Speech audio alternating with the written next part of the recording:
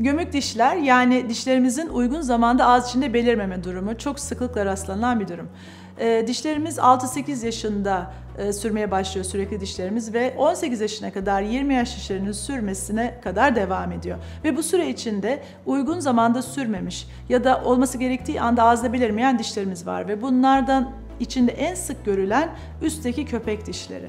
Ve çoğunlukla da geç fark ediliyor çünkü röntgen tetkiki yapılmamışsa da ağza sürmediği bile çok zor anlaşılıyor.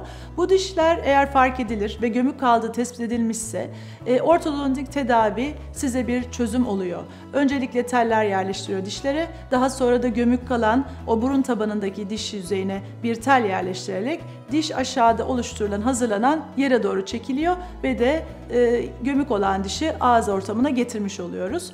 Bu tedavi seçeneği e, oldukça başarılı. Eğer uygun zamanda yapılmışsa, uygun zamanda fark edilmişse de çok yüz güldürücü bir sonuç veriyor.